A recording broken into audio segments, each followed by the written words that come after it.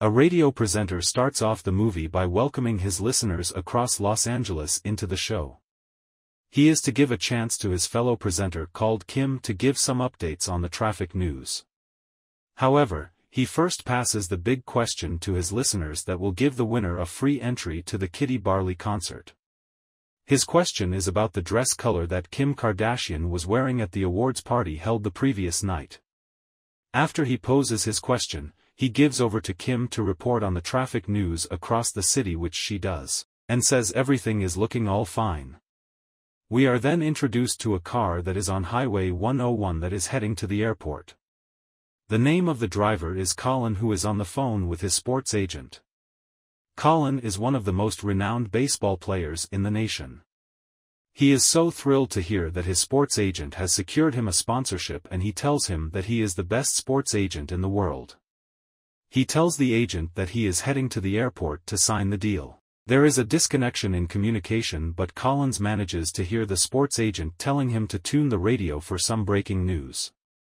He does so and the radio presenter says that they have some unconfirmed reports in downtown LA that a couple of thousands of people have vanished. He adds that the vanishings have been reported across the city. The reporter urges the people to stay where they are because very little is known about the vanishings. The news on the radio also reports that the city is in a kind of panic right now with traffic building up on various roads. The presenter says that the unimaginable has happened where hundreds if not thousands have disappeared from the earth. As Collins listens to the news, his countenance becomes dull and afraid and he loosens his safety belt and walks out of his car. On looking there are hundreds of cars on the street with panic everywhere. He seems worried and it is clear that he is aware of what has just happened across the globe. He starts walking amidst the traffic and he meets other confused drivers who are asking themselves what is going on. The lady tells him that she has heard in the news that thousands of people have disappeared and the other male driver says that is what he heard too. They start panicking and trying to call some of their friends or family members, their communication is down. They come and tell them that all four lanes are not allowed to drive and the police are only allowing emergency vehicles only. Another lady comes and tells them that it seems millions have disappeared across the world. The man is angry because of the traffic and says nobody is going anywhere. One lady says that maybe something has happened and taken the people away. His friends who are already confused ask her what she means and they tell her that they don't believe what she is saying. Collins shouts at them and tells them to stop because what has happened is worse. He tells them that the rapture happened.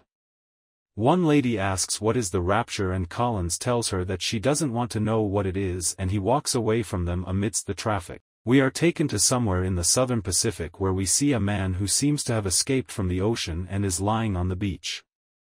He is drenched and he wakes up in amazement trying to remember where he is. His name is Professor Wiseman, one of the renowned professors at the University of Southern California. He starts remembering what happened before he found himself on the beach. We see him talking to a lady on the plane asking her whether she is afraid. The lady says no and asks him why he has asked that question. The professor points the Bible to her and tells her that she has been reading it. The lady tells him that she always reads it.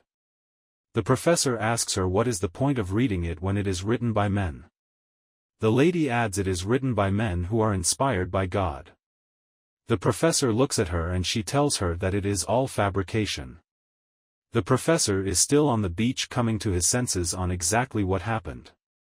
We are now taken to Tokyo in Japan and this is Masashi one of the renowned journalists with one of the media houses in Japan. He seems so much stressed with whatever is happening across the globe and he goes to a pub to relieve his nerves.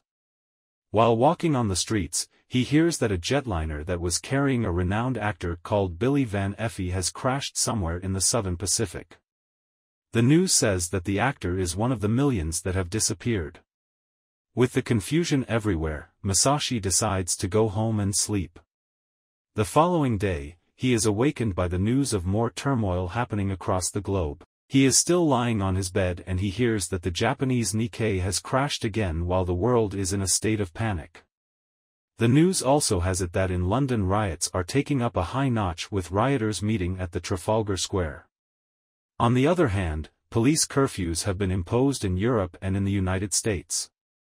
Meanwhile, no one knows where the millions of people have vanished. Masashi wakes up and walks to the tap to wash his face. He looks at himself in a mirror and it is obvious he looks nervous and determined to uncover something. He heads to his laptop and on typing about the rapture, there are various articles on Google and Wikipedia about that. He scrolls and reads through and he seems to be worried and confused. He goes to the library and looks for a Bible on the shelves. After taking it, he flips through some pages and it seems he is looking out for something. He takes the Bible and other books and goes to sit down to study what is happening. He begins with the New Testament Bible and opens to the book of Mark and starts reading. He stays in the library until evening and he walks home. He seems afraid and he keeps looking at his back as if there is someone monitoring him. Immediately, some rogue boys on their skating board approach him and surround him.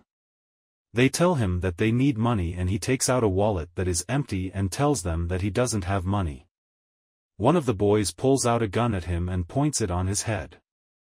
Masashi tells him that he has an iPhone and when he tries to give it, one of the guys tells him that the iPhone has a poor reception. He tells them that he has nothing and he removes the Bible from his bag and tells them that he has a Bible and tells them to take it. On seeing the Bible, they say no and they take their skating boards and leave him. Masashi watches them as they skate away from him. In another part of the world, Buenos Aires, we see this lady walking in the streets and she seems confused and tired. Maybe she has been walking the whole day. I don't think she even knows her name. Anyway, her name is Maria. She seems so lost and not in the right state of mind. She starts asking random people where he can get some food. One guy deceives her that he is a policeman and he asks her how he can be of help. The lady tells him that she is just looking for some food but the man starts mishandling her and telling her that he is going to protect her and she should stay with him. He becomes forceful and holds Maria at a close range and she asks him what he is doing. The guy tries to molest her while Maria cries out for help. Your guess is as good as mine, no one cares or comes to help her because everyone cares about their own security. Maria fights him with the little strength she is left with and he lets her go. However, he follows her closely. Maria keeps on asking for help but no one even cares to know what is happening to her. She finally gets an open shop and she gets in and asks for help and tells them that someone is following her. The man follows him in and says that he is a policeman and tells the shop attendant not to be involved. The guy tells Maria that he is waiting for her outside. All roads to Recoleta are blocked and a patrol of armed soldiers and police are patrolling the road that is decorated with stones and other debris. The news also has it that there are uncontrollable fires everywhere while several bombs have exploded in Palermo. Maria finally gets some freedom from the guy who was stalking her and she is walking in the city. She sits down and finds a radio which she turns on to hear what is happening. The reporter says that the world is in a state of panic while millions of people have disappeared. There are also thousands of accidents everywhere as people vanish. It is also reported that the soccer league has suspended all games. Maria walks into the tent city where police and ambulance sirens are all over. She finds a guy in the street and she asks him to tell her where she is. The guy asks her why she cares but eventually tells her that she is in Buenos Aires. Maria asks him whether he can explain to her what is happening there and why everyone is going insane. The guy tells her that it is the end of the world. He tells her that it is the end and he is surprised that she doesn't have any clue that the end has come. She is so surprised and the guy walks away from her. She continues walking in the streets and she watches a wall screen showing chaos in the town while police water cannon is trying to control the situation and the protesting crowd. She sits down and removes her shoes.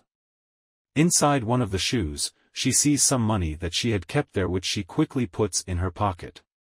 She also finds her passport and an ID. This is when she remembers her name after reading it on the passport. She returns the ID and passport in the shoe and wears them back. We are in LA again and we are following the happenings in the life of Collins, a famous baseball player in the nation who has been left behind. He is walking in the street while thinking about his life.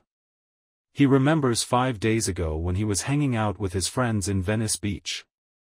They are asking him how much he was paid for the contract. He tells them that it wasn't much, it was about $5 million.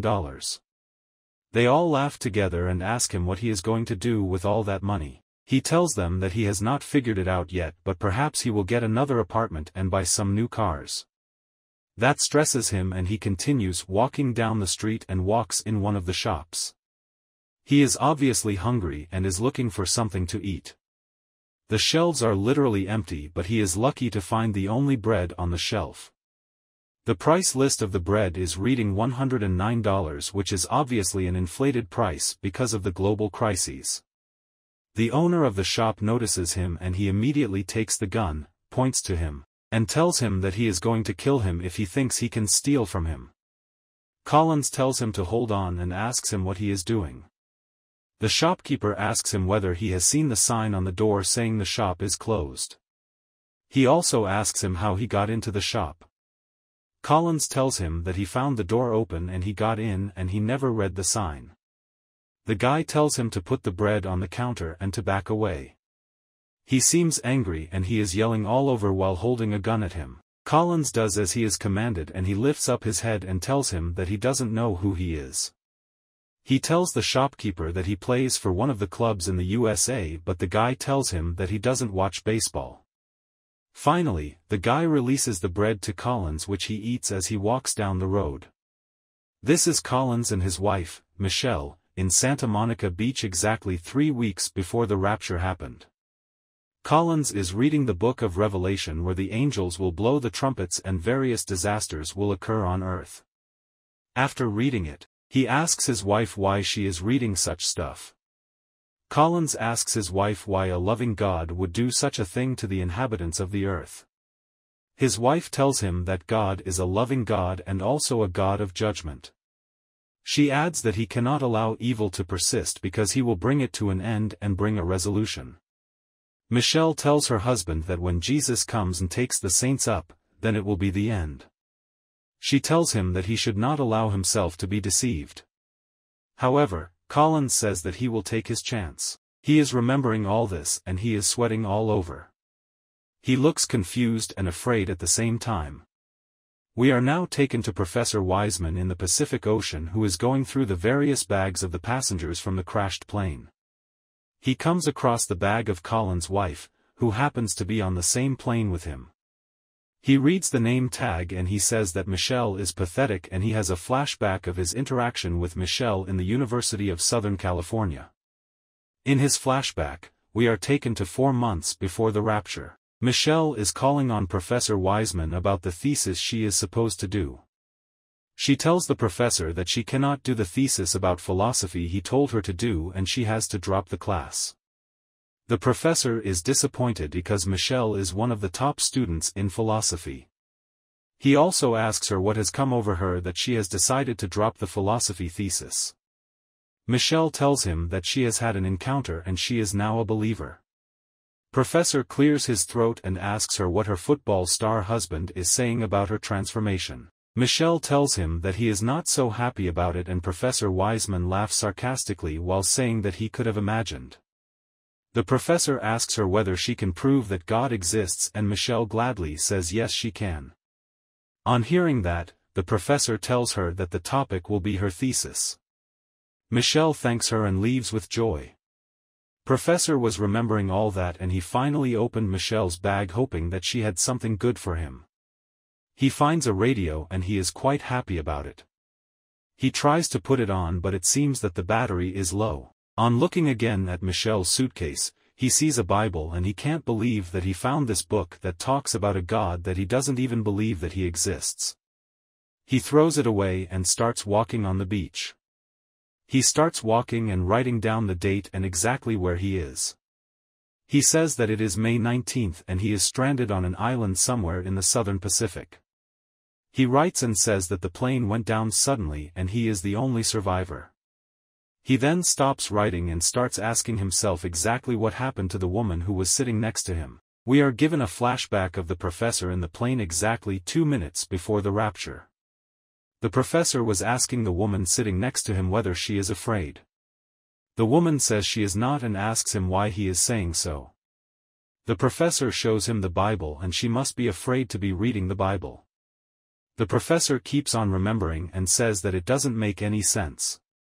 Again, we are taken back into the plane where the woman asks the professor whether he believes that Julius Caesar existed. He says of course he believes. Immediately, the pilot gives a warning that every passenger should buckle up their safety belts because they are likely to experience turbulences due to an approaching storm. The woman asks the professor whether he thinks everything is okay and he says he doesn't know. Immediately, there is an alarm in the plane while the turbulences increase making the plane quite unstable and shaky. The flight attendant is also confused and she doesn't know exactly what is happening. She promises to go and ask the pilot what is happening while she urges everyone to be in their seats with their safety belts on. She then asks where the neighbor of the professor has gone. That comes as a shock to the professor to see an empty seat and the woman he was speaking with missing. The professor says that he doesn't have any idea where the woman disappeared because she was sitting next to him. The plane starts descending and every passenger is afraid including the professor who starts screaming saying that this cannot be happening. We then see the plane coming on high speed near the ocean and the next the next thing we see is the plane exploding into flames and the professor coming out of the water gasping for breath. This is Maria and is in Palermo.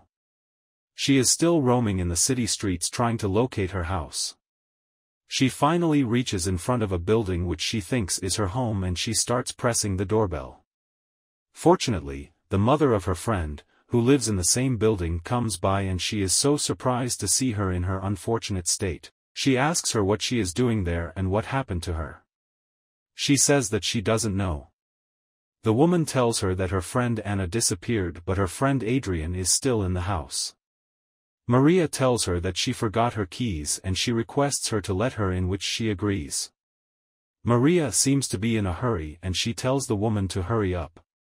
On getting in, the woman tells her that it is that crazy rapture thing that has happened. She asks Maria whether she has heard of it. She continues and says that she believes in Jesus Christ but she doesn't understand why she was left behind. She hopes Maria understands what she is saying because she is not saying anything. She opens the door and tells her to sit on a couch. Maria seems confused especially when she starts looking around. She finally sets her eyes on Adrian who looks nervous and sicky. She asks the woman what happened to her, and the woman says that she has been like that since October 18. Maria asks the woman whether she has a way of contacting her family and she says she has no way. Maria insists and says that there must be someone to talk to, and the woman tells her that there is no one. The woman seems concerned and she asks her once again what happened to her because she doesn't look well. Maria tells her that she was in an accident and she lost her memory.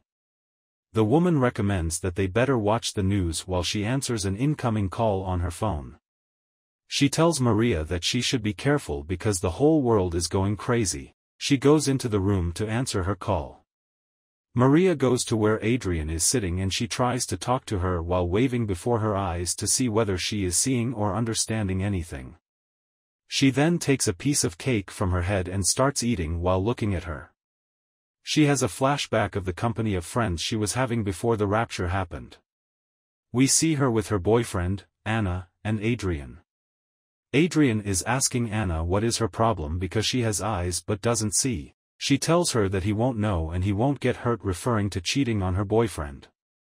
Anna, who is a born-again Christian, tells her that she doesn't care what she is doing or saying, she is just speaking from a moral point of view. Maria asks her what is up with her and she asks her what is the right way, her views or morals. She adds that it is not about morals and she continues sipping her drink. Anna tries to talk to her saying that she believes in morals but Maria is not interested in her narratives and Anna asks her whether she is listening to her. Meanwhile, Maria turns to her boyfriend and gives him a sip of the drink. Anna continues and says that we are all going to pay for what we have done.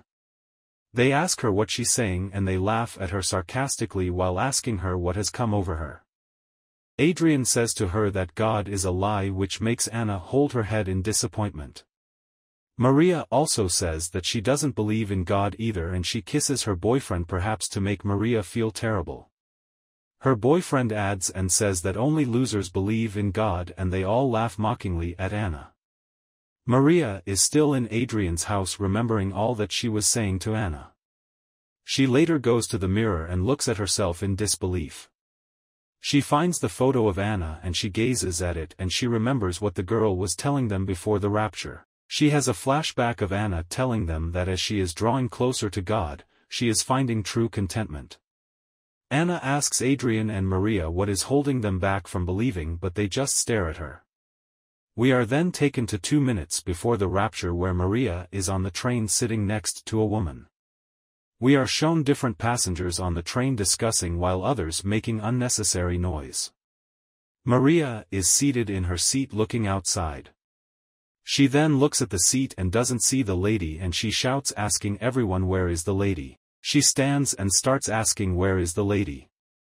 The other passengers look at her in amazement because they don't know what she is talking about. However, another young man is also asking where his friend has gone. Maria remembers all that and she starts to cry.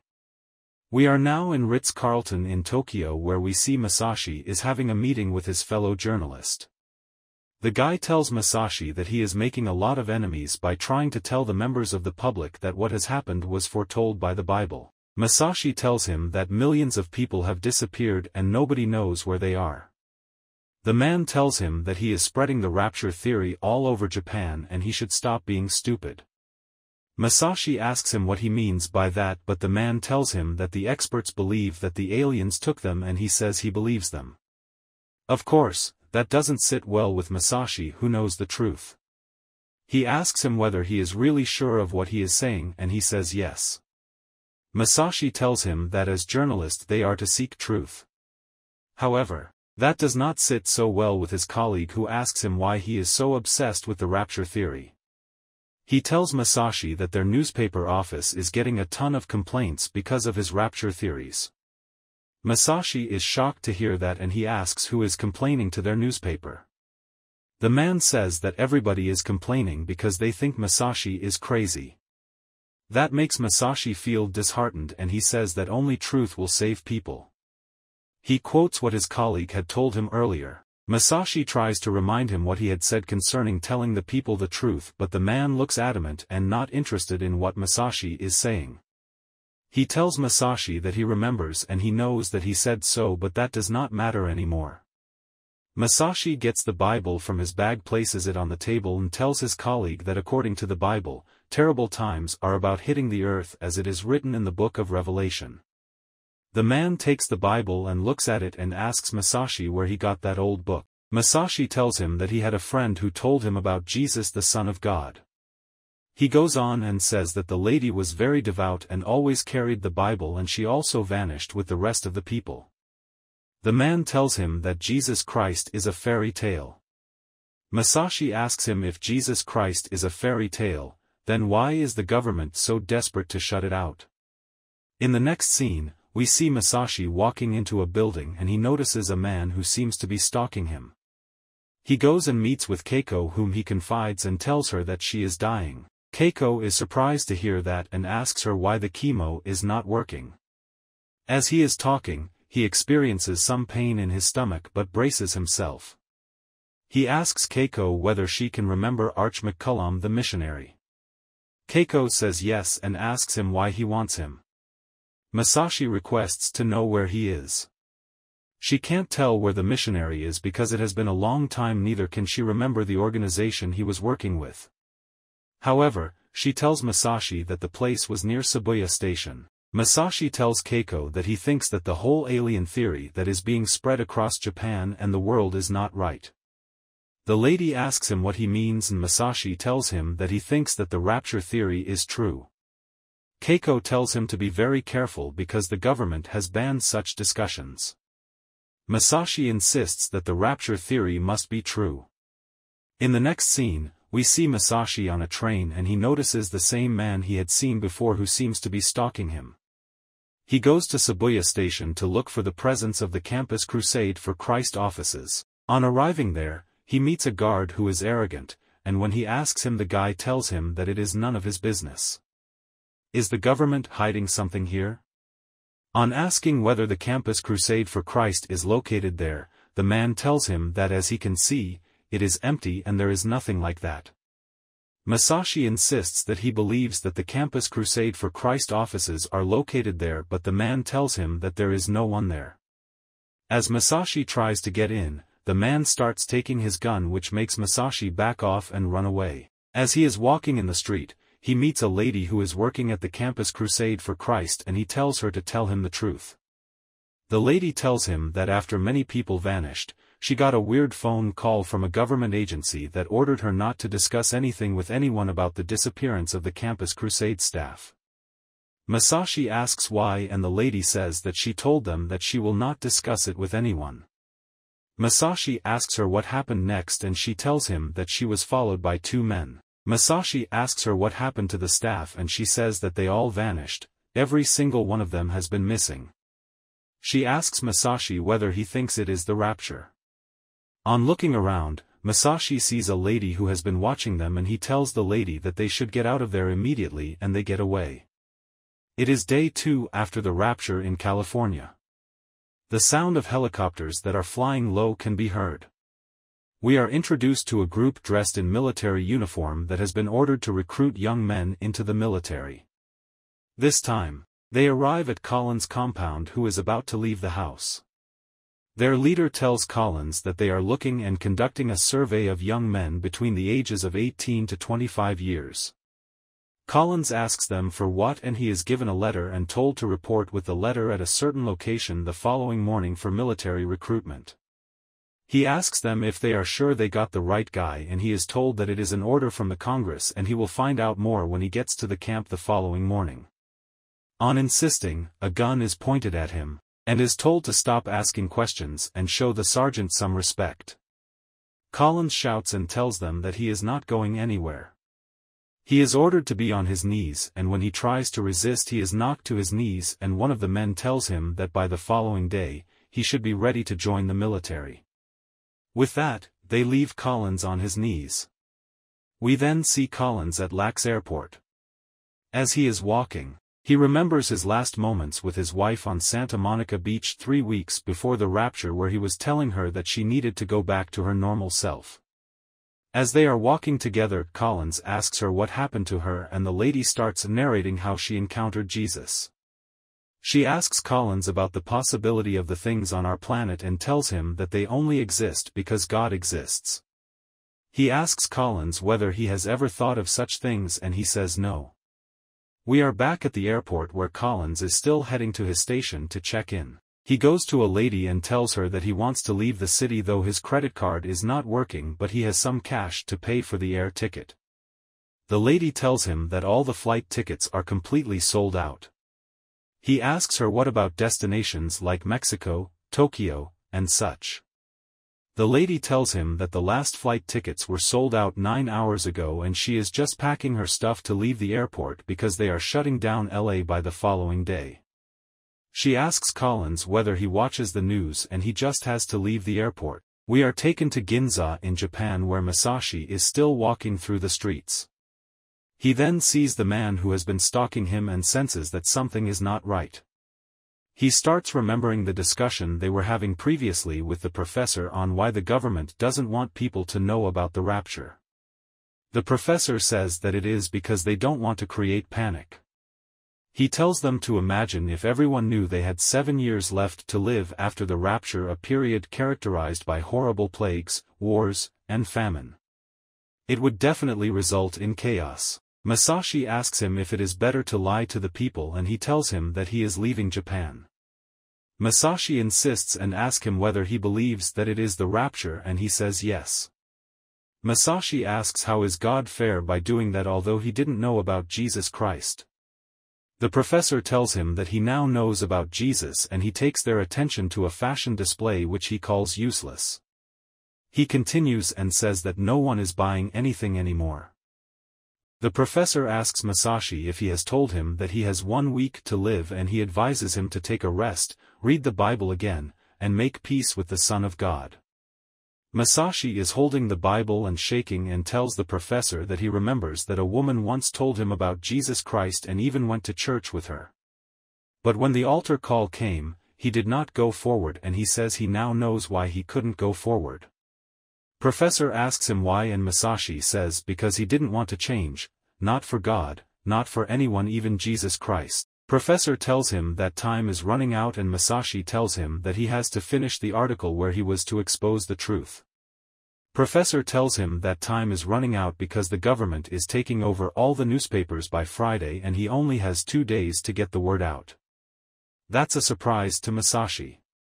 In the next scene, we see the lady who was working at the campus crusade entering the elevator and before it closes, the man who has been stalking Masashi enters the elevator. We then see him removing some gloves from his hands signifying that he has been killed by suffocating the lady who is lying in the elevator lifeless. Masashi has been looking for the lady for a few days and he has gone to her apartment to check her out since he has been missing. He continues knocking but no one opens. Her name is Rika and despite Masashi calling her name out and knocking on the door, the call remains unanswered. He goes to the hotel staff and he accompanies him to Rika's house. Masashi tells him that he is dating Rika in London. The hotel staff tells him that he didn't know that Rika had a boyfriend. He opens the door for him and they enter into Rika's apartment. The hotel staff tells Masashi that he thought Rika was a virgin because she was very religious. They further go inside and the man says that he hasn't seen her since the big vanishing. He tells him to enjoy and he leaves. Masashi took the remote and reduced the volume of the TV which was quite high. He goes to the window and has a view of the city. He then flips through the Bible that was open indicating that Rika was reading it before she disappeared. Immediately, there is news of the World Heads of States meeting in Norway to discuss the disappearances. The reporter says that one of the conclusions that has been resolved is about the biblical rapture theory that many people espoused at first. On hearing that, Masashi switches off the TV. He hears some water running in the kitchen and goes to switch it off and notices that someone is preparing the coffee there. The man who has been stalking him and killed Rika is right there in the house and he starts struggling with Masashi. When he is about to end his life, the hotel staff comes in and he is quite amazed to see what is happening. The assassin leaves Masashi and goes to the hotel staff and struggles him to death while Masashi takes his bag and runs away. He hides in one of the rooms outside and the guy comes looking for him. The guy is harmed with a gun ready to end Masashi's life. He starts opening dustbins to check for him. Fortunately for Masashi, he was hiding in another dustbin which the assassin never opened. On leaving, Masashi gets out and runs out of the hotel and the guy spots him and starts running after him even in the streets. Masashi runs and enters a supermarket and the guy keeps stalking him. Masashi devises a plan and runs away using the back door unnoticed by the assassin. In the next scene, we are taken back to Pacific Ocean Beach where Professor Wiseman is still stranded. As he is walking, he notices a lady who has been washed by water to the shores. On checking her up, he realizes that she is dead. He takes her purse and on checking inside, he finds a recording where the lady is saying that she is in the middle of nowhere after her plane crashes and is asking God to help her. Professor mocks her and tells her that's where her prayers got her into and he places her purse on her as the waves come to where she is lying. Back in the university, Professor Wiseman is remembering a lecture he had four months before the rapture. He was asking the students whether it was irrational for them to believe in God and he says that he believed it was irrational. He calls Mary, one of the students to tell him why she is disagreeing with him. Mary tells him that he believes in God and another guy says the same thing. The professor calls their answers stupid declarative sentences. He tells them that they should not give him a declarative sentence unless they can prove it. He goes to Michelle, the wife of Collins, and tells her to continue on why she still believes in God. Michelle says because she has faith it is the only way one can believe there is God and he answers her prayers. On hearing that, the professor ridicules her for getting answers to her prayers. He asks one of the students called Bill and says that it sounds so stupid and some students who don't believe in God laugh at it. The professor tells him that it is not stupid because some people can believe in prayers even if they are wrong. He then tells Michelle to continue. She continues and says that she remembers one day she was standing at the ocean and she said Lord, speak for your servant is listening. Immediately, there was a loud thunder and the sky turned all red and that was an authenticating experience. Of course, the professor looks at her with disbelief and in a sarcastic way. Michelle says that if they base the existence of God on that criteria alone, it is proof that God exists. The professor shakes his head and asks her why is she the only one who has heard that experience. At the island, the professor continues to climb to higher grounds to try and see whether he can get a signal for his radio. He keeps trying but nothing works and he calls it a piece of junk. He has given up and he shouts that this cannot be happening. He remembers a discussion he had with Michelle three weeks before the rapture. Michelle is telling him that if she doesn't do the thesis she will not graduate and the professor tells her that it is none of his problem. He tells her that she has all the money from his rich husband. Michelle tells him that Collins wants a divorce and that startles the professor. He tells her that they should share the wealth and she gets half of it but Michelle says that he will let him keep all the wealth. Back to the present, the professor is still thinking about what Michelle said. We are then taken to the news where the streets are on fire and the world food shortage continues while millions in Buenos Aires have taken to the streets. This is Maria going to buy a loaf of bread and the shopkeeper tells her that it is selling for 200 pesos. She tells him that she is having 45 pesos but the shopkeeper remains adamant and says the bread is worth 200 pesos. He tells her that the world is ending and he orders her out. She tells him that she wants a piece and the seller says no and he tells her to get out. She leaves reluctantly to the chaotic street. More police are arriving at the scene in the city to try and regulate the chaos but that seems not to be helping. Maria is heading home and she notices a guy that has been trailing her and she hides. She remembers the encounter she has had with him where he was shouting at her telling her not to play dumb with him. The guy asks her what is going on with her and she tells him that she lost her memory. But the guy doesn't believe her. He asks her whether she is being serious and she doesn't know who he is. Maria starts calling out for help and the guy tells him to shut up and stop playing dumb with him. Maria tells him to let her go but the guy says that he will not let her go for nothing. Back to the present. Maria is still hiding and looking at the guy who has been waiting for her to come back. In the next scene, we see Maria looking for something desperately in the drawers. Finally, she gets one of the drawers out and she finds the money she had placed under it.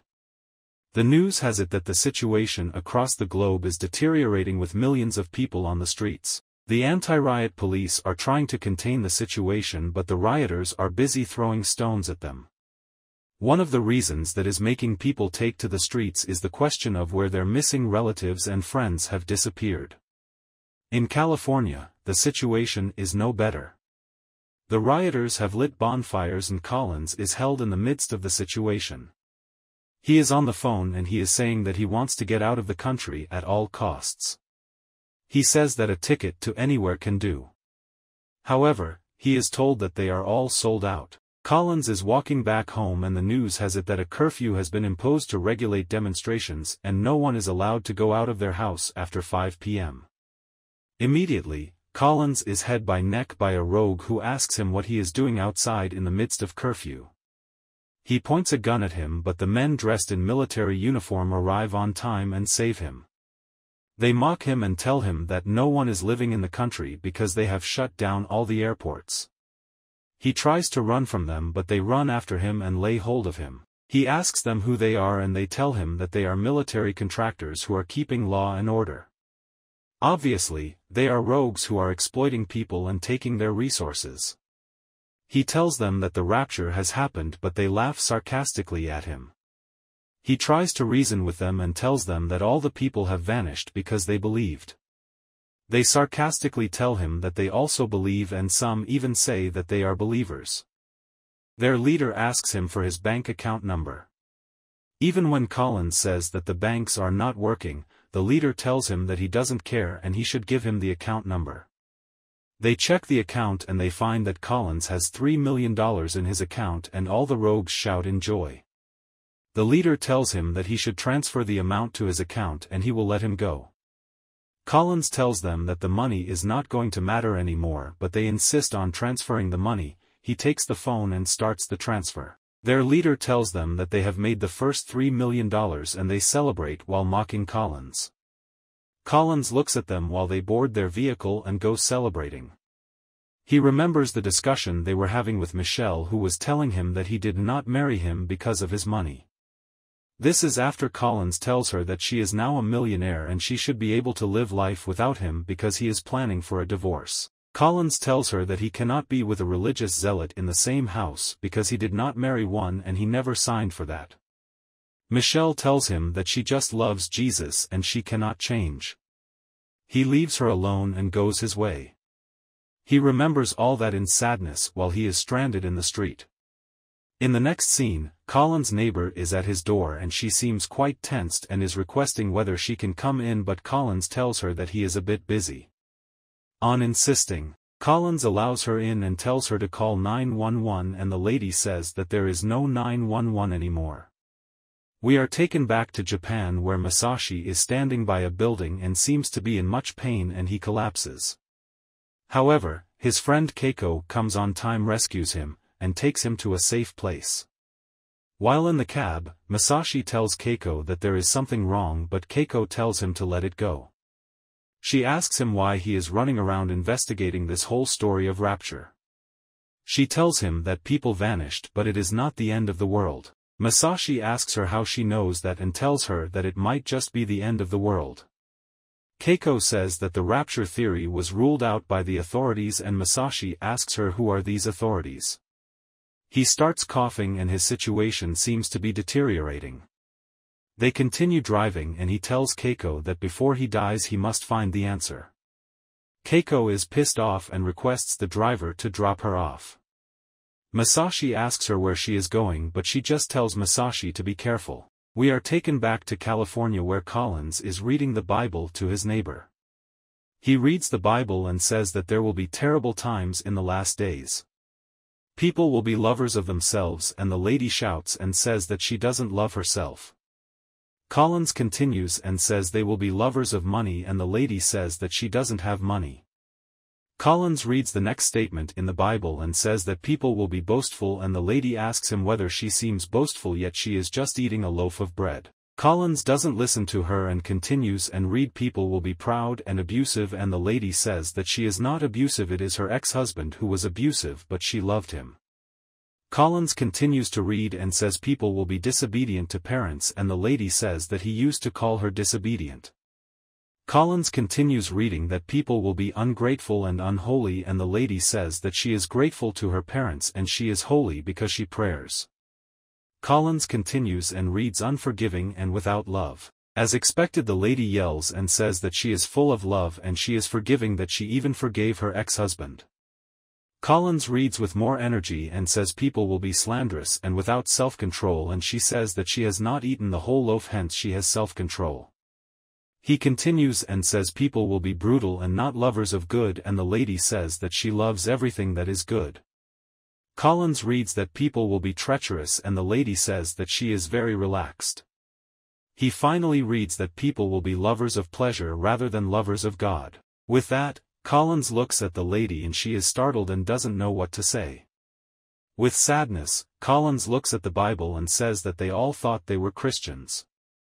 In the next scene, we are taken to the lecture hall four months before the rapture where Professor Wiseman is writing the topic of discussion on the board which is God is dead. He then turns to the class and says that they should prove to him that God exists. One lady called Susan says that proof that God exists is a belief, not science. The professor laughs sarcastically and asks what is her name. He tells her that she doesn't come there with a washed-out answer like that ever in her life. Michelle looks at the professor and says that she doesn't believe that it is a washed-out answer because it is true. Michelle continues and says that we can prove the existence of God by the impossibility of the contrary. She continues and says that the transcending truth that God exists is based on the impossibility that without him, nothing can be proven. The professor asks, what if he asks the gentleman in the back low to show that he can fly by flapping his arms? He says that will be a very unusual request and it will be left for him and the man to demonstrate that he can fly. But if he cannot demonstrate it, we can't believe that he can fly. Michelle says that she believes that the guy can fly and whether he doesn't or does demonstrate that he can fly, does not disapprove of that belief. She says that her belief in God is not based on some magic tricks. Professor terms her as a very eloquent spoken answer for a cheerleader. Professor calls another student called John and asks him to prove to him that God exists and he outright says that he can't prove I. He then calls Simon and tells him to prove that God exists. Simon says that he has faith that God exists and the professor interrupts him and says that he didn't say faith he asked for proof. Simon thinks and tells him to look around, at the planets, trees, stars and the professor once again interrupts him and asks him whether that's his proof that God exists. He tells the young man that he has just proven his ignorance. The young man feels humiliated and looks around. Professor Wiseman is still at the Pacific beach and he is taking a look at the Bible he gets angry and throws it into the ocean. As he starts walking from the ocean, he realizes that the water waves have pushed the Bible back to the shores. He feels irritated and looks at the sky in fury.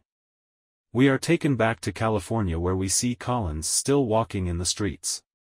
He meets a man who seems to be hopeless sitting on the street and he asks him about someone who can help him get out of the town. The man laughs at him sarcastically and asks him why he wants to leave the place.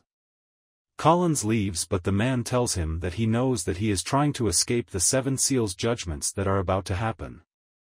Collins asks him how comes he knows and the man tells him that he can tell by the pathetic look on his face.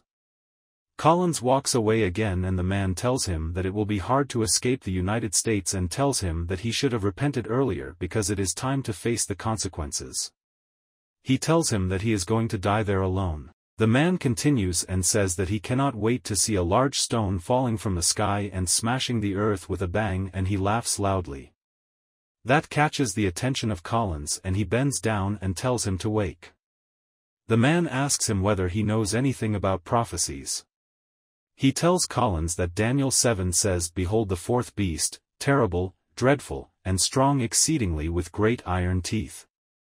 He then tells him that they were too busy listening and watching the news, Democrats and Republicans, and not paying attention to what Jesus said. Wake up for your redemption is near. On saying that, he gets sad and Collins asks him who he is. He shakes his head and asks Collins whether he recognizes him and he says no.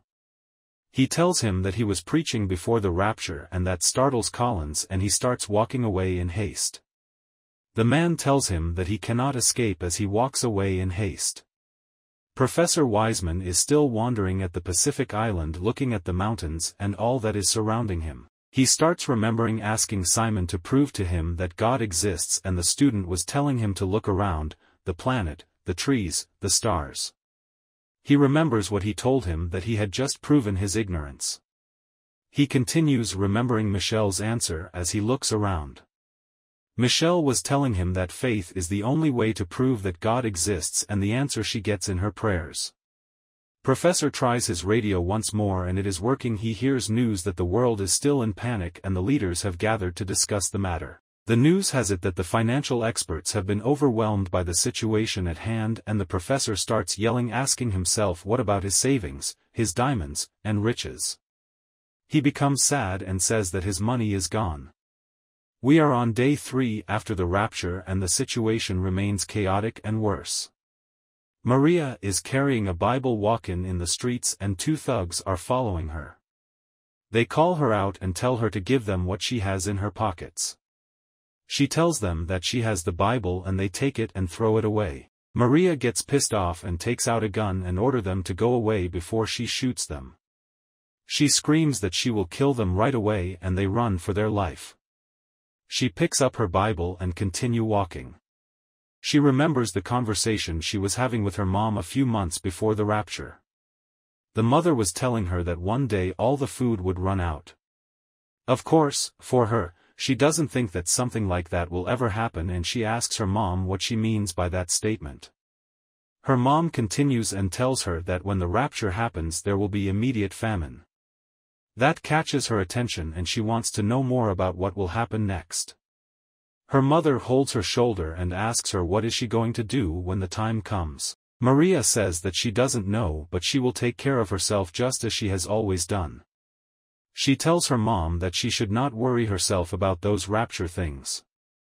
As a caring mother, she goes ahead and asks her how she knows that it is Christmas. Maria says she knows that it is Christmas because of the date and a bunch of other things. She asks her mom why she asked that. Her mother asks her a question that we should all ask ourselves. Maria's mother asks her, how can you not see what is happening? The signs of the times of the things that are happening around us. By the way, you can check our video on signs of the end time and the rise of the Antichrist.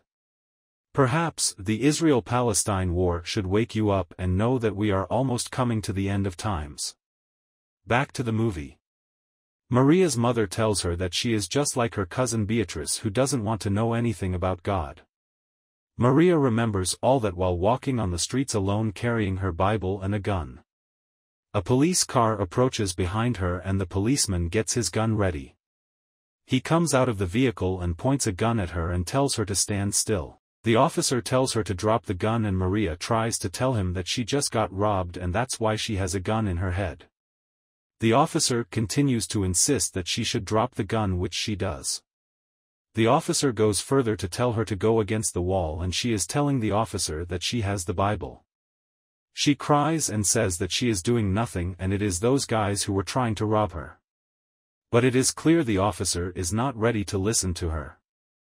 He tells her to stay still but she tries to reach out to her Bible that is on the ground. The officer asks her what she is doing and she yells to him that it is her Bible and he should give it to her which he does.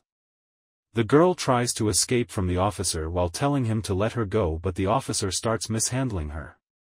She tries to cry out for help but no one is there to help her. The officer literally pushes her to the police van even after telling him that she has not done anything wrong and the vehicle drives off. Professor Wiseman is trying to look for a signal from his phone and he pleads that someone should pick up his call as he starts to dial while listening. He can't believe his ears when a lady picks up the call and asks him how he can help him. He starts asking whether she can hear him to which the lady says yes. He starts speaking loudly saying that he is Tom Wiseman stranded on an island. However, he is too loud and the receiver tells him to lower his voice. He says that he is the only survivor of Flight 345 of Auckland, New Zealand. He asks the lady to send him a rescue team to him immediately. The lady asks him whether he knows how many planes went down and she tells him that they were too many to count. The professor on hearing that becomes calm and sober and asks the lady whether that means all the pilots disappeared. She adds and tells him that millions have disappeared. She tells him that he should consider himself lucky that he is on an island but the professor tries to ask her what she is trying to say. She continues and says that it will take probably days or weeks before they think of coming to search for him because there are no more rescue teams. Professor gets pissed off and she calls her an idiot and she is told that he has just committed a crime under the laws of the New World Order government. Professor continues to ask how he has committed a crime and he is told to call the lady an idiot and the lady tells him that she is going to report him to the police. He tells the lady that she should do it fast for the police to come and arrest him on that island. He continues yelling and calling her idiot and the lady hangs up the call. We are taken back to Japan where Masashi is being informed of the new development in the new act where Japan has surrendered its national sovereignty to the WIPC. Masashi cannot believe it and he tells the man that it is impossible. The man tells him that things are progressing so rapidly. Masashi poses and holds his stomach which seems to be in pain and he says that it is kind of ironic because everyone is dying. The professor tells him that he got a new drug for cancer but Masashi tells him that the disease has already spread and it is too late for medical treatment. The man tells him that he will be praying for him. Masashi asks him when he is going to leave Japan and he says that night. He tells Masashi that he may never see him again. Masashi tells him that he will not see him on the earth but in heaven he will see him. He nods in agreement and tells Masashi to see you in heaven. Chaos continues to ensue in the city while some rowdy youths are shouting and shooting while matching on the streets. Maria has been dumped by the police car near there and she picks up her Bible and tries to escape. The youths shoot at the police while the police shoot at them and there are multiple casualties on the street. Maria seizes the opportunity and runs to a cab only to find that the driver has been shot and is dead. She pulls him out and drives off in the midst of chaos. She drives to the river and she is asking the way to the river. The man points in the direction of the river and tells her that he is the only survivor after everyone else disappeared.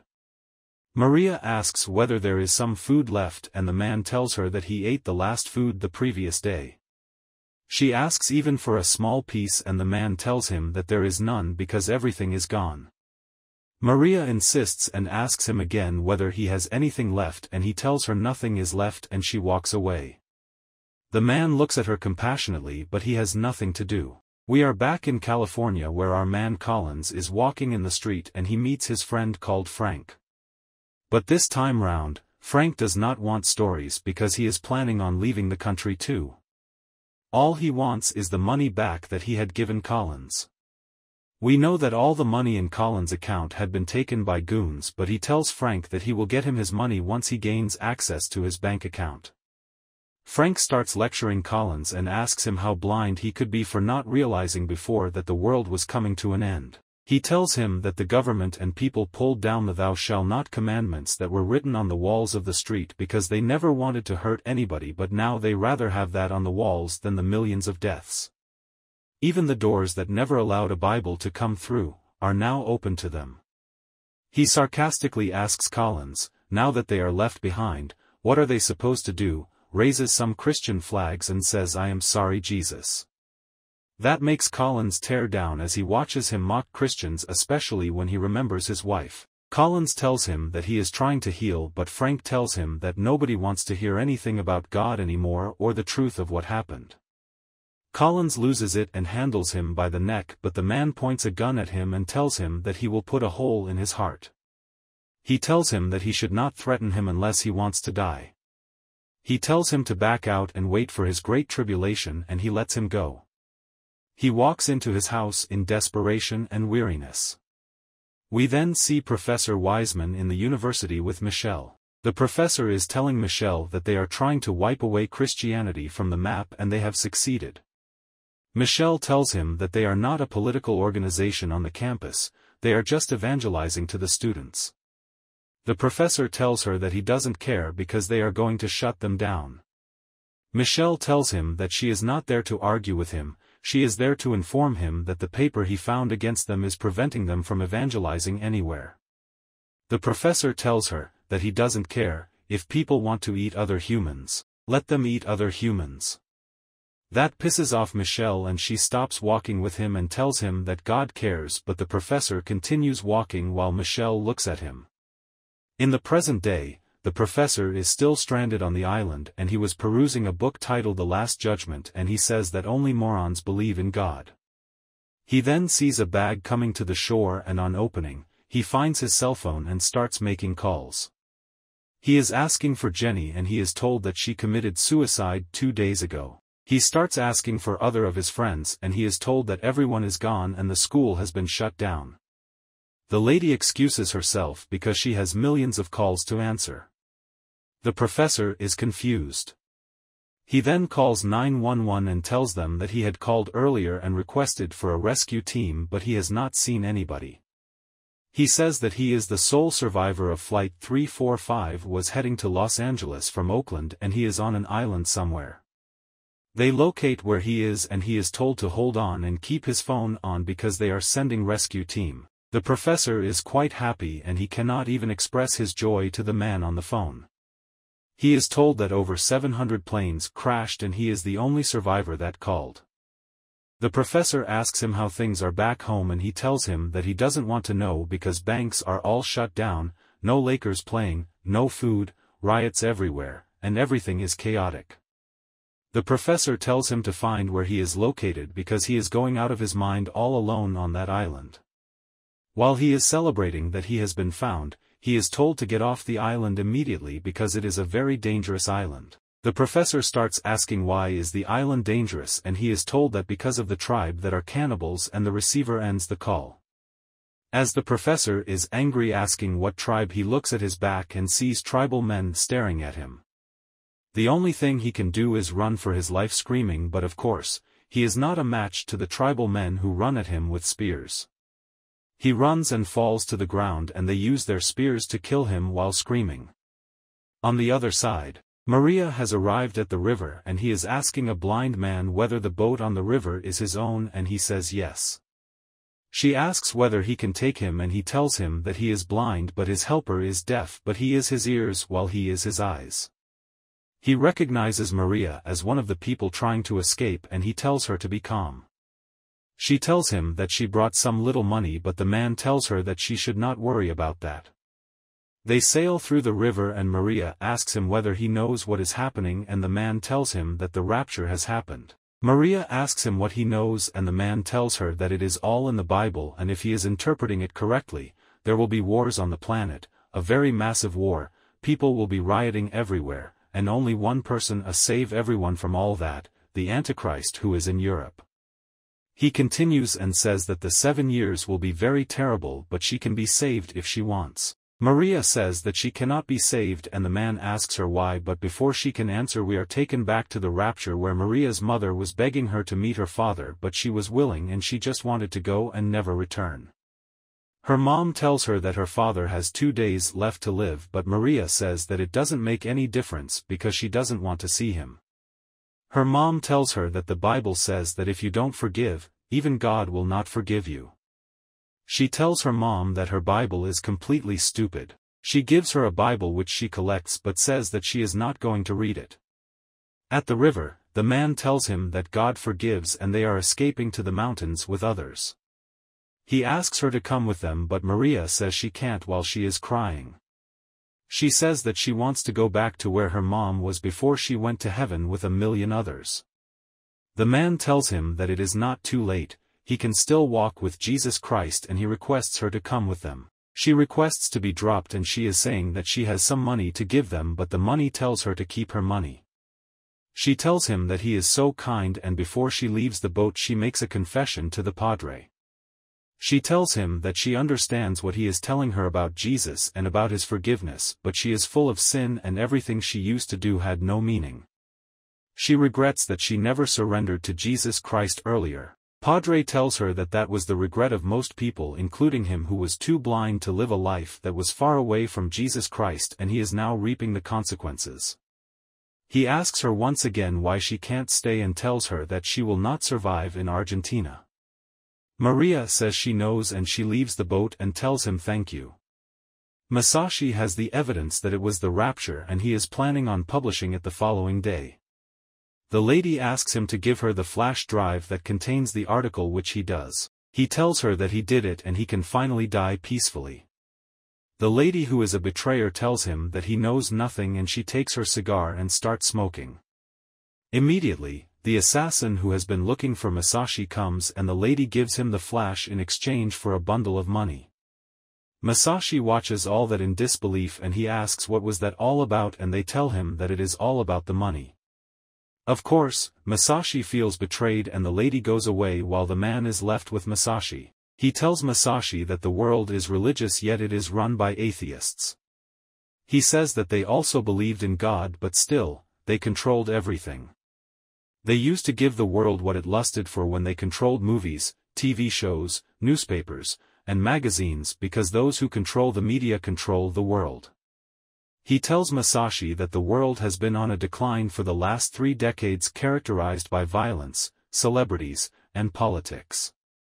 He says that they love anything that is anti-God and curse God to his face every single day yet everyone knows that God exists. He tells him that yes, it was the rapture and he was right but what difference will it make because no one cares. He tells Masashi that the end has now come for everyone but does he know where he is going in the next life? He says that he knows where he is going because he is going to hell and he laughs sarcastically as he repeats that he is going to hell as he blows some cigar smoke to Masashi. He tells him that he is aware that he is dying soon hence he is allowing him to live and bids him goodbye while kicking his head and leaving him lying on the floor. Beautifully, Masashi shows us the real flash that contains the information about the rapture. Masashi is in his house watching the news and is reported that there is an emergency world summit where the leaders of the Security Council voted to elect Jean-François as the head of the newly formed World Industry Power Union, the WIPC. The reporter continues and says that they have some breaking news story of a reporter from the Japan Sun-Times who says that he has conclusive proof of the rapture and his story has been published in the morning edition. The reporter repeats the news again to lay some emphasis on Masashi's work. On hearing that, Masashi kneels down and starts praying. He tells God that he doesn't know how to pray but he knows that he is real and he is God. He came down and saved us all, what a wonderful God he is. Masashi affirms that he loves the Lord. He thanks Jesus Christ and says that he now knows. He starts coughing and he falls on his couch and dies. Collins goes to the airport too and has a pluck card where he needs one airline ticket to anywhere. It seems no one cares about him and he walks away frustrated. The lady Collins was reading the Bible to call at him at the airport and she now believes that the rapture happened. He tells Collins that he is leaving the city and she is not sure that she will ever see him again. The lady asks him why God did not warn them and Collins tells her that he did only that they did not listen. The lady tells him that he said that all Christians are fake but Collins says that some are real. Collins remembers him telling his wife that he will take his chances and if the rapture is true then he will believe her. Michelle tells him if he cannot live for Christ now that there is peace, what makes him believe that he can die for him after the rapture when all hell breaks loose? Collins is in the traffic lifting his pluck card of his need for a single airline ticket to anywhere. Of course, no one cares. However, one lady comes to him and gives him her ticket and says that she is a friend of Michelle whom they met during a Christmas party. Collins remembers her and she asks her whether she is sure she doesn't need the ticket she says that she doesn't need it because it was her husband's ticket who vanished. He tried telling her about Jesus but she did not listen. The lady wishes him good luck and she leaves him. However, Collins calls her back gives her back the ticket, and tells her to give it to someone else because he is going to stay. He then starts writing something else on his pluck card which reads, Jesus loves you and he lifts it up for everyone to see. And the movie ends. Dear viewer, if you have not accepted Jesus as your Lord and Savior, it is time to do so because the rapture is drawing nearer. Whether you believe in God or not, Jesus is coming for his saints. You could be like Professor Wiseman who says that God does not exist but that did not prevent rapture from happening. Don't be like Collins who said that he will take his chances and wait for the rapture to happen before accepting Jesus. The time is now. The rapture is believed to be an event where true Christians, believers in Jesus Christ, are suddenly and supernaturally taken from earth to meet Jesus in the air. This is often thought to be a sudden and unexpected event, with believers being caught up or snatched away. It is documented in the book of 2 Thessalonians and also in the book of Matthew where Jesus himself was talking about the wise and foolish virgins. Those who have been raptured will disappear from the earth, leaving behind anything earthly but their bodies will be transformed in a twinkle of an eye. Their clothing and personal belongings will also be left behind. Non-believers and those who were not raptured will witness the sudden disappearance of friends, family members, and others, causing confusion and turmoil. Any child on the face of the earth below the age of accountability will vanish too irrespective of their parents' religion. Following the rapture, it is believed that a period of great tribulation will commence on earth. This period is often associated with a series of catastrophic events and judgments. During the tribulation, a global leader, often referred to as the Antichrist, will emerge. This leader is thought to deceive many and establish a one-world government, leading to a time of great political and social upheaval. The tribulation period is often associated with various calamities, including natural disasters, wars, plagues, and other forms of suffering. During the tribulation, 144,000 Jewish evangelists will be sealed by God and proclaim the gospel led by the two witnesses. Believers who come to faith during the tribulation may face persecution and martyrdom for their faith. At the end of the tribulation period, Jesus Christ will return to earth in power and glory, accompanied by the raptured believers who will return with him and conquer the Antichrist and establish a kingdom on earth where Jesus will rule as the king for 1,000 years where there will be a period of peace and righteousness. Make friends with Jesus while you are still alive.